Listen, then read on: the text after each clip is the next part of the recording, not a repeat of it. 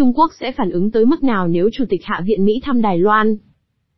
Chuyến thăm dự kiến tới Đài Loan của Chủ tịch Hạ viện Mỹ Nancy Pelosi đang gây báo động trong chính quyền Tổng thống Joe Biden, vốn lo ngại chuyến đi này có thể vượt qua làn danh đỏ của Trung Quốc, hãng tin AAP bình luận ngày 26 tháng 7.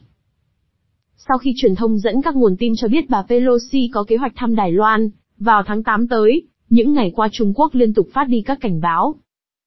Ngày 25 tháng 7, Bắc Kinh cảnh báo họ đang sẵn sàng đối phó chuyến thăm này và rằng, Mỹ sẽ chịu tất cả trách nhiệm về mọi hậu quả nghiêm trọng, nếu Chủ tịch Hạ viện Mỹ tới hòn đảo này. Tuần trước, Bộ Ngoại giao Trung Quốc cũng tuyên bố Bắc Kinh sẽ thực hiện các biện pháp kiên quyết và mạnh mẽ, nếu bà Pelosi đến thăm Đài Loan.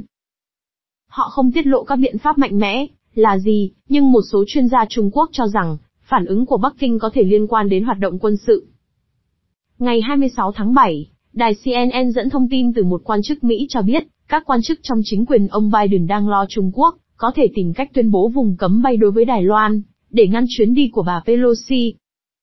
Tuần trước, Tổng thống Joe Biden đã công khai bày tỏ những lo ngại về chuyến đi dự kiến này, khi ông nói rằng, quân đội Mỹ nghĩ chuyến thăm Đài Loan của bà Pelosi không phải là ý tưởng hay vào lúc này. Sau đó, hôm 21 tháng 7, bà Pelosi nói, tôi nghĩ điều Tổng thống Biden đang nói là, có thể quân đội Mỹ sợ máy bay chở tôi bị bắn rơi, hoặc điều gì đó tương tự. Tôi không biết chính xác.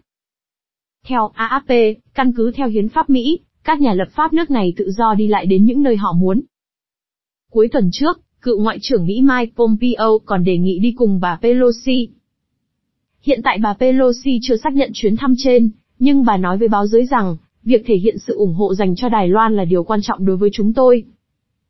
Trung Quốc sẽ phản ứng bằng các biện pháp đáp trả chưa từng có và mạnh nhất, mà họ từng áp dụng kể từ khi xảy ra các cuộc khủng hoảng ở eo biển Đài Loan. Giáo sư quan hệ quốc tế thời Ân Hoàng, Xin Hong tại Đại học Nhân dân ở Trung Quốc dự đoán phản ứng của Trung Quốc, nếu bà Pelosi đến thăm Đài Loan.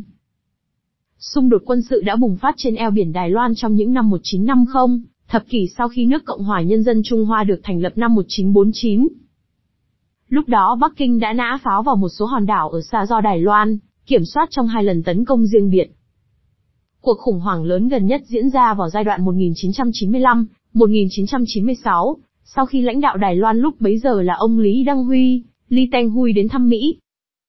Tức giận với chuyến thăm này, Trung Quốc đã bắn tên lửa vào vùng biển xung quanh Đài Loan, và cuộc khủng hoảng chỉ kết thúc sau khi Mỹ điều hai nhóm tác chiến tàu sân bay đến khu vực để thể hiện sự ủng hộ mạnh mẽ đối với Đài Loan. Nếu bà Pelosi vẫn thực hiện chuyến thăm Đài Loan, chắc chắn Mỹ sẽ chuẩn bị sẵn sàng để đáp trả phòng trường hợp Trung Quốc có phản ứng quân sự. Tình hình quan hệ Mỹ-Trung sẽ rất căng thẳng, ông thời nhận định.